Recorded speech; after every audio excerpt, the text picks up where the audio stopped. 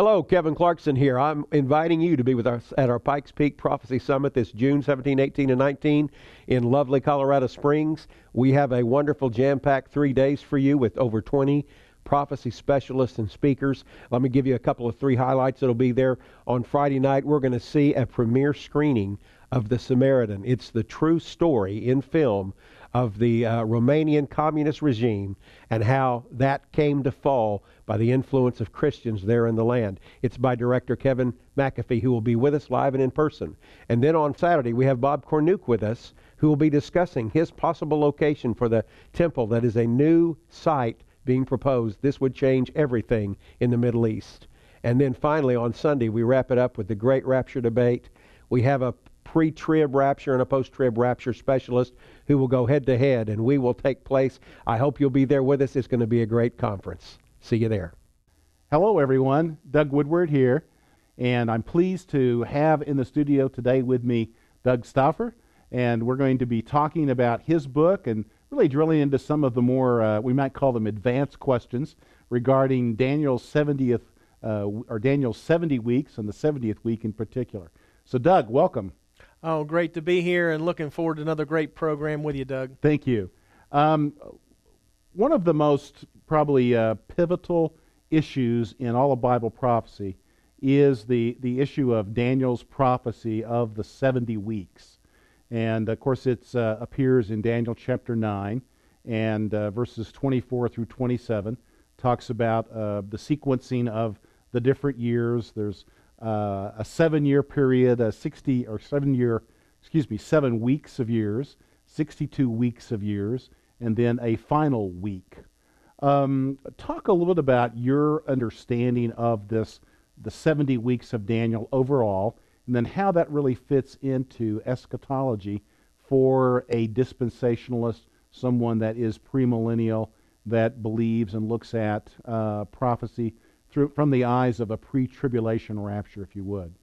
Well, I mean that's a great starting point, and really there's a lot to be said. So I'm gonna I'll probably take a little bit more That's time fine. to develop it. Yeah. Um, but when I, am on Daniel chapter nine, of course we know that that is one of the uh, most important places for speaking on Daniel's 70 weeks because that's what it talks about. Mm-hmm. And a lot of people say, well, there's six purposes to Daniel's uh, 70 weeks. I say there's 7 Mm-hmm. because two of them are put together. And when you distinguish those two, number seven is really number of completion. It's just, it's not uh, six, it's Mm-hmm. seven. And here's why it says 70 weeks are determined upon thy people. Well, that's Daniel's people. Daniel's people are the Jews. And thy holy city. Well, that's not Rome, that's not Damascus, that's Jerusalem. Jerusalem. So, right there at the very beginning, we have the context of Daniel's 70th week uh, and 70 weeks. Is that it's the nation of Israel, it's Jerusalem, it's not the Gentiles, it's not America, it's not Russia, it is focused on the nation of Israel and Jerusalem. Here are the seven purposes. Number one, to finish the transgression. Number two, to make an end of sins. Number three, and to make reconciliation for iniquity. And let me stop there for a second. Now, if, if this is the church, we're already reconciled in Christ Jesus. Uh, we have the ministry of reconciliation. That is, that Jesus Christ died for your sins, he, were- he was buried, rose again. The gospel, that's the ministry of reconciliation. So when you're looking at the nation of Israel, this is before Jesus Christ uh, died on the cross of Calvary. Mm-hmm. Uh, this reconciliation is a national reconciliation that's individualistic also in mm-hmm. Jesus Christ. Mm-hmm. But we're already reconciled, both individually and collectively in the church, or else you're not part of the church. So I, I just think there's a huge contradiction when you start placing the church in here. Uh, number four, and to bring in everlasting righteousness. Number five, and to seal up the vision. And here's the one that I make a difference on and prophecy. Well, that's the sixth one. Mm-hmm. And to seal up the vision and to seal up the prophecy and to anoint the most holy. So there's seven different purposes for Daniel's 70 weeks. Mm-hmm. And they all focus on the nation of Israel. And that's important to understand. Mm. Yeah, the of course the, the one of the fundamental premises of dispensational theology is the distinction between the church and Israel. And a, I guess you would say a consistent dispensationalist does not allow those two programs to overlap in any way. Is that a true statement? Definitely not the programs. Yeah. Um, and I think that is the way to say it. Does that mean that there are no Jews in the body of Christ? No, obviously there are. In fact, we're grafted in among them. Uh, Paul said the mystery in Ephesians chapter 3 is that we are made partakers with them. They're already consisting of, you know, those that have converted to Christ in the first century start up the body of Christ. The Gentiles are brought in later on, and you see that through the book of Acts when, you know, Stephen Stone, Paul's saved. Uh, he goes on his missionary journeys. He goes to the Jew first, then he goes to the Gentiles. You see that in Acts 13, 18, and 28, you know, specifically. Lo, I turn to the Gentiles, he says in each one of those chapters. And then Paul writes the next 14 books with the next 13 with his name as the first word, basically combining those books to where uh, when you rightly divide the word of truth, you know that your major doctrine for the church is going to come from there. It's mm-hmm. not going to come from Daniel. Mm-hmm. I don't go to Daniel and go, well, you know what? I think I'm just going to read the book of Daniel and apply everything to the church and forget Israel because mm-hmm. now I'm doing what? I'm replacing Israel with a church. Replacement theology does that.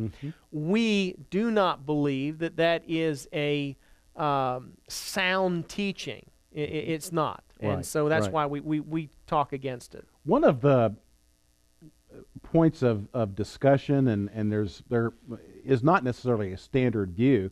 Be interested to know what your view is, and that is that the the church age in dispensational teaching is concluded with the rapture of the church.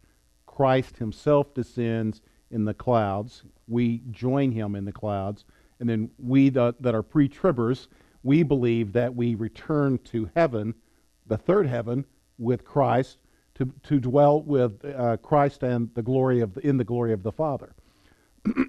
but the question is, does that automatically mean that Daniel's 70th week, his final week, commences at that very moment, or could there be a gap of time between that rapture and the beginning of this final seven years, if you will, of uh, what Daniel talks about? And, and there very well could be a gap. Uh, there's no reason to believe that that's an impossibility. Uh, what I ha- I take it from another angle too, and I say, well, the church y- history is Israel. So you you know you go back and you get to Genesis 12 as quick as you can, or God gets to Genesis 12 as quick as he can. Abram's called out. You know, he is the beginnings of the nation of Israel, a called out people, a, a people that he was going to uh, uniquely use throughout history. The most hated people of uh, ever in, in, in the history of the world uh, are the Jews. And you see them going through time uh, and they apostatize. They don't, you know, when Jesus Christ comes back, they don't even know who he is. They don't even know their Old Testament. They look at Jesus and they, they don't see the fulfillment of prophetic scripture. Uh, much like today, people don't see the fulfillment of the prophetic scripture with the pre tribulation they rapture. They had preconceived notions of what the Messiah would look like, and so when the Messiah came, he didn't fit the preconceived notions. No, they were looking for a conqueror. They were mm-hmm. looking for a king. Isaiah 61. Because they didn't split verse 2 of Isaiah 61 into its two components, mm-hmm. the first and second coming, they did not recognize that distinction. Much like today, when people read 2 Thessalonians chapter 2, they don't realize that that verse 3 has a three and a half year gap in it, and later on, when that wicked is destroyed by the Lord's coming, it has a three and a half year gap around verse seven or eight. So, you know, people people miss that, and we have the same errors and problems happening today that happened uh, in Jesus' first coming. Um, basically, you know, one of the things I was saying was so the church is parenthetically put in there. Mm-hmm. So you have Israel, Genesis 12, all the way through the, you know, Jesus Christ coming back. He goes to the Jews only. A Gentile woman comes to him. He says, Not meet to give the children's bread to dogs. I am not sent for the lost sheep of the house of Israel. It's Israel, Israel, Israel. Now all of a sudden, last 2,000 years, it's not Israel. That doesn't mm-hmm. mean Israel's not important. That doesn't mean that you can you replace Israel. Doesn't mean you reject them. It means what you do is you realize that God has transitioned away from them and parenthetically put the church in there. We don't usurp their promises because those promises will be fulfilled in the future. There is, of course, the Paul, uh, you know, I might say wrestles. I don't think Paul would say that he wrestled. I think he would say he was very clear uh, in terms of this, uh, the issue of the of the true Israel, spiritual Israel, uh, inheriting the promises of Abraham and so forth, which is of course talked about in Romans 9, 10, and 11, and so forth. Uh, the replacement theo- theology wants to take that whole discussion of Paul from Romans 9, 10, and 11, and it wants to say, see there, I told you, we are Israel. Uh, that's what Paul teaches clearly. We are the true Israel. And so there really is no longer a distinction between the church and the nation of Israel. There are not two programs. And so, of course, this is classically called covenantal theology, and it is very distinct from dispensational Or the theology. Nazi Holocaust. Uh, well, uh, yeah, I probably. that's a little aggressive. I might, I might not go quite that far, uh, as I'm sure there might be a person or 2 I'm that sure, watches I'm this. sure I fired a, I'm sure you got them excited. Yes. Yeah. So, uh, but but talk a little bit about your thinking about the distinction between what Paul is is saying in Romans uh, versus this the, the concept of dispensationalism that that still says you know there will be a day when all Israel will be saved. Well, you just quoted one of the scriptures of- Right, of very right, many. right. Uh, but I jumped over to Romans chapter 11 when you were um, hmm Asking my question. when you're asking your question. It says, um, you know, again, verse 11, Romans 11, 11. I say then, have they stumbled, they should fall. God forbid, but rather through their fall, salvation is coming to the Gentiles for to provoke them to jealousy. Why is God provoking them to jealousy? Because He's going to bring them back in. He's using the church today and has for 2,000 years to provoke them to jealousy. He says, um, verse 17, he goes on, If some of the branches were broken off, thou being a wild olive tree, wert grafted in among them, and with them partakest of the root and the fatness of the olive tree. Boast not against the branches, but if thou boast, thou bearest not the root, but the root thee. Thou wilt say then, The branches were broken off that I might be grafted in. Well, because of unbelief they were broken off. Thou standest by faith. Be not high minded, but fear. For if God spared not the, the natural branches, take heed he spare not thee. And then he talks about mm-hmm. them coming back in. Verse 25, he talks about the mystery until the fullness of the Gentiles be come in. right. Then verse 26 and 27, I think, is important. And so all Israel shall be saved. Mm-hmm. As is written, there shall come out of Zion the deliverer, and shall turn away ungodliness from, uh, from Jacob. For this is present tense in the English or whatever language. In the Greek, you know what it is? It's present tense. Yes. Uh, and you could go into a lot of other Yes. words with that too. Yes. But for this is my covenant unto them when I shall take away their sins. What does it say? One of, one of the seven purposes of Daniel's 70th week that I read Mm-hmm. is about the ending of sins. So this, this replacement theology just is not scriptural. Mm-hmm. The nation of Israel is going to come back into prominence, and for anybody to teach otherwise is wresting the scripture. Mm.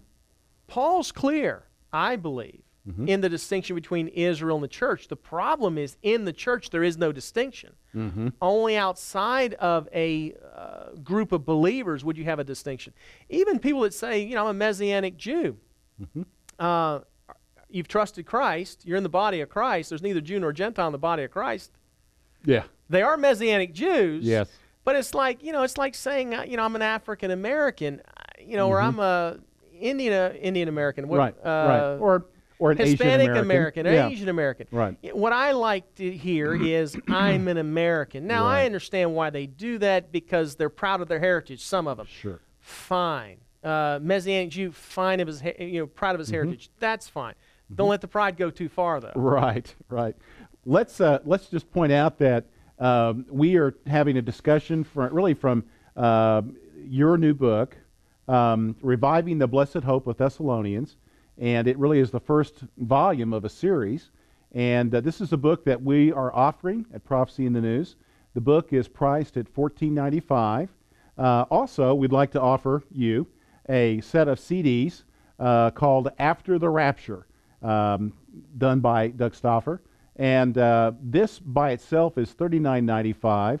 And so the, together there will be a discount. If you buy both, the package price will be $49.95 for both the book and the CD set. And it is a 11 CD set, 12 hours of information, and a lot of it really deals with the topics that we're talking about right now. Uh, really, a lot of focus on the rapture and uh, and then what happens after the rapture.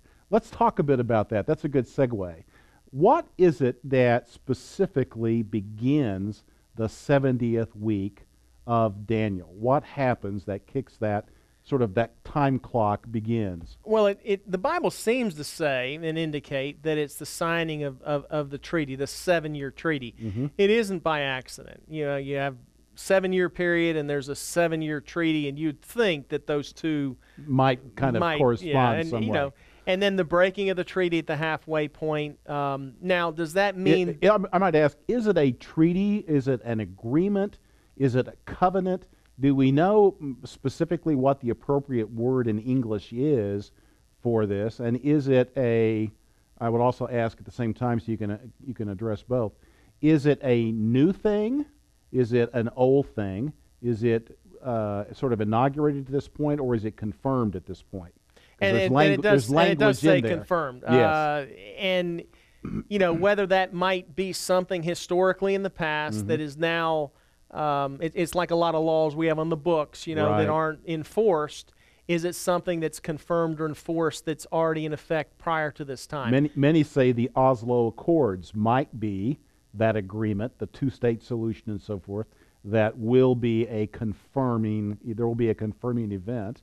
And there Israel are warnings would, about dividing Israel, and they're oh, going to divide yes. them. Yeah, Um, absolutely. So the the thing is, I I don't look at uh, even the Temple Institute that's over there, where they're you know they got all the things to build the temple and you know all Right. that.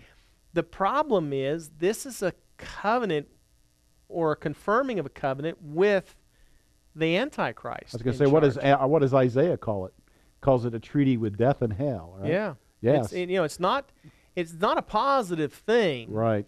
And when you um, look at it from that perspective, it changes your thought process on what the ultimate outcome is. Mm-hmm. Um, it, it's not something that's uh, actually something I think God would want to happen. He's foretelling it to happen. Right. Right. But it is it is a treaty or an agreement with It is a God's covenant. arch enemy. Yeah, and of course the uh, it is uh, Paul is very very clear in Second Thessalonians that it's at that midpoint, that halfway point, that that covenant is that treaty is broken by the action of the Antichrist going into the temple, which he the, that is the the language Temple of, of God. uh, the temple of God, and desolating the temple. He proclaims himself God. Do you have a, a sense of what that desolation really is? Is it just the proclamation as a, as a man that he claims to be greater than the God of the of the Hebrews, greater than the God of Israel, greater than the God that the Christians worship? Do you have a sense of what that abomination of desolation is? Certainly, Jesus talked about it. He said, "At that moment, uh, that will begin this time of great tribulation, which usually we equate with the second half of Daniel's 70th week. But, uh, but I'm curious, what are your thoughts on what is the, the act of abomination or desolation? Well, it does say that he sits in the temple of God, showing himself that he's God. Um, That act, in and of itself, means that he's going. If, if you come in and you say, "I recognize you as God," like the vicar of Christ on Right, earth, you yes. know, I Which recognize happens you to as God. being Antichrist, Yes. right, instead of. Yes. Yes. And I, sh- I, I recognize you as God on earth. Mm-hmm. That's enough. Now, whether there's you know an image of himself, uh, sacrifice there, uh, that might be like Was icing it, on the uh, cake. Say Antiochus Epiphanes, did he sacrifice a sow on the altar or Right, something and like it that? may be a repeating Yeah, of that. I mean, because is. history does repeat itself. Yes. One of the things I want to point out, because Yeah. we use words, um, Christ Himself shall descend. Right. Mm-hmm. Well, when you just read that, it says showing Himself Mm-hmm. that He's God. Yes. In other words, He isn't God. Yeah. Uh, he's not showing the world that He's God because He's not God. Mm-hmm. He's showing Himself that He's God. And I just love the peculiar wording. Yeah, it's uh, it, it it- it does seem like that word wording is loaded a little bit. It is, and, Yeah. and and God has the last laugh. Yeah, Hey, you yeah. you're up there thinking you're showing the world you're God. Guess what? You're just showing yourself that you're God. Yeah, He's showing himself that he's God. And uh, you know, when I read stuff like that, I just smile because I know God's in control. I know God is the one that's going to uh, laugh at their calamity, Right. have them in derision. I mean, you know, these are things that when you look at them, the world, you know, even the crucifixion, you know, the world says, uh, well, why would we want to worship a Jew that was crucified Right. for for what? You know, why couldn't he stop that? It was God's greatest victory because he made he provided himself as the payment right. for sin that man couldn't do on his own. Now, it was not an act of, of braggadocio. It was an act of shame. And yet, that's kind of back to the point you were making. And then I, it made me think of the wording of Jesus where he said, you know, if I testify of myself, i- you know, it is not true. But there are, you know, there are two that witness, you know, the Father, I believe, in, in the Spirit, if I'm Right. not mistaken, that testify of me. And so, and, and kind of that almost as if what he's inferring is that Satan has incarnated himself in the Antichrist excuse me, and it's only his testimony that he is God. Right. Is that kind of what you were Sure. indicating? He, Yeah. It's his testimony that he's God. The world's going to look at it and say, well, um, I believe that uh, he is God, and I think that's what the abomination of desolation is. And you know, you think about worldwide coverage CNN, CBS, ABC, Fox News, they're all going to be on this thing, uh, videoing it and showing it, and just, you know, oh, wow, this great leader that we've been pumping up through United Nations and, you know, whatever other groups. Boy, look at what he's done. Look at him sitting in the, ta- oh, look at the attire and the robe and the hat Uh, and the, you know, The best TV ever, though, is going to be when the two witnesses are slain. They lay in the streets of Jerusalem for three and a half days, and all of a sudden they start twitching, and there's this loud voice that says, Come up here! Like the shout of a command to come up, and they're resurrected and they Right. ascend. Wow. and That, the world's going to refuse to repent. and, the, re- and the world will refuse to repent because God will send a strong delusion upon them, Right. despite the signs and wonders that God has performed here in their midst on television for all the world to see. Right. Fascinating. Let's talk a little bit about some of the, the strange dates that we run into in the last uh, the last week of Daniel. There's the, the 1260 or 1220 days, the excuse me, the 1260 days, then the 2520 days. We understand that the week is broken into two pieces. Uh, each piece is 1260 days, and yet there's mentioned in Daniel a 1290 day period and then a 1335 uh, day period. Let's talk about that first, then we'll come back and talk about the 2300 days and what that infers. Sure. The 1260 and the 1260, you know, together, Mm-hmm. you know, the 2520, um, have to do with the entirety and split Mm-hmm. in half. So you have uh, you have three and a half years, you have 42 months, you have uh, 1260 days, Mm-hmm. and those are events that will take place either during the first half or the second half, Mm-hmm. and they're they're divided by the abomination of desolation. That is the the, the Mm-hmm. The midpoint, the, it? midpoint, Yes. and you know the, the pendulum swings from one way or the other. Um, when you go from the 1260 days to the 1290, you have events that happen after Daniel's 70th week, most likely. Mm-hmm. Right. Uh, the 1335 being the same thing. That could be Matthew chapter 25. Mm-hmm. Uh, the judgment of the nations can be cleansing of the temple. Can be things like that Right. that happen after that period of time. Mm-hmm. And what um, what people fail to understand, though, I think, Mm-hmm. is the 2,300 days where that is so significant. I mean, that's something Right. God blew me away with. Yeah, let's. Uh, we, we don't have time to really kind of follow the the other because we want to talk about the 2300 days. But it is, uh, you know, suffice it to say that many that study the scriptures connect dates of the of the Jewish feast days to these different dates, and many speculate that the 1335 days. This is where Christ is anointed uh, in the temple, and it really uh, relates to Hanukkah and so forth. Um, so, but let's go back and talk about the 2300 days. We have about three minutes left, and And uh, let's talk about that. Tell us what the 2300 days is and kind of the discovery that you made. Well, the uh, Daniel chapter 8 talks about the 2300 days. Mm-hmm. And it says in verse 11, Yea, he magnified himself even to the prince of the host, and by him the daily sacrifice was taken away, and the place in the sanctuary was cast down. Talks about the host, and, the, and he throws down the truth to the ground. Verse 13, Then I heard one saint speaking, and another saint said unto that certain saint, which spake, How long shall be the vision concerning the daily sacrifice? and the transgression of desolation, which is the midway point. Mm-hmm. But the sacrifice starts before the midway point. Right. Because it has to end at the midway point, you know. Yep. I mean, it yes. has to be desolated at the yes. midway point. Mm-hmm. So it goes on, it says, to give both the sanctuary and the host to be trodden underfoot, which is Revelation chapter 11, verse mm-hmm. 2. And we know that's, the, that's, that's half of the tribulation. Right when you put it all together and you just back it up and you say, well, the host trodden under is the last half, so back right. it up 2,300 days, and you have from a the seven very from the very, from the very end, end, of Daniel 70, back. back up 2,300 days, and that leaves you with seven months, with what about seven, seven and, and, a third, third month, right?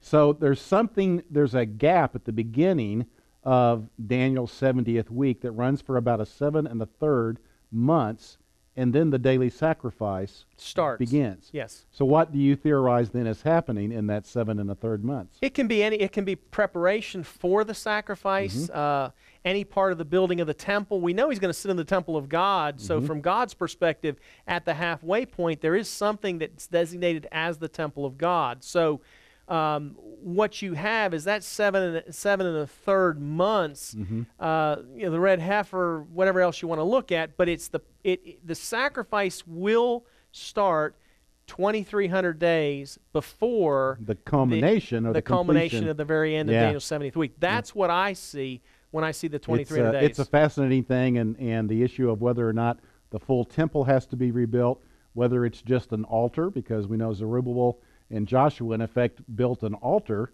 before the temple was fully completed, and they began the sacrifice, uh, and uh, which was at the sepul- kind of right at the outset uh, or beginning of the second temple period. So it's it's pretty fascinating in terms of, of what might happen. We don't have answers to all those questions, but it's uh, it's enjoyable for us to have a chance to talk about these things. Sure. Doug, thank you so much for being with us. It's been great to have you involved in these programs, and hopefully we'll do a couple more soon.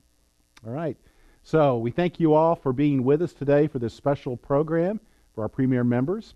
And we ask you, as always, to keep looking up.